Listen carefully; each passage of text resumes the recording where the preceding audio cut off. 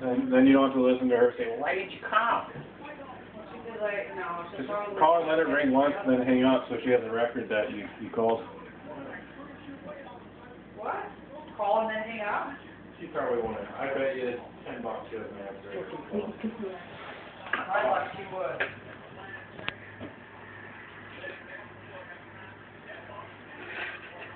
I don't know, I haven't decided.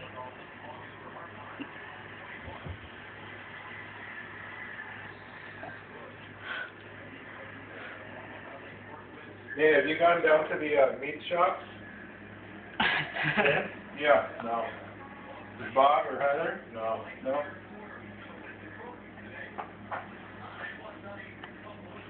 No, we just don't eat that much meat.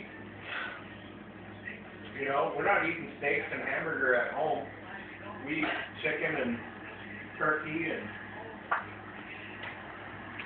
oh, what else we eat?